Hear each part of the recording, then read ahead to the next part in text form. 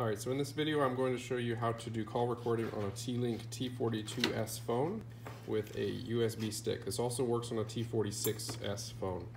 First you start by taking the USB drive and plugging it into the back of the phone. And when you do that, the phone will display on it some information that a USB flash drive is connected. And sometimes it will also show you how much storage space it remains on there.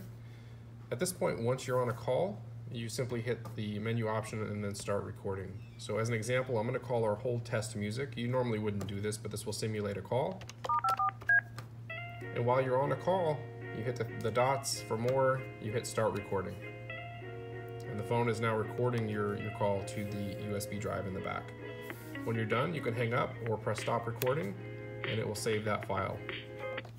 At this point, you can go ahead and pull out the USB stick which has your sound file on it, plug it into your computer, and you can play it right on your computer.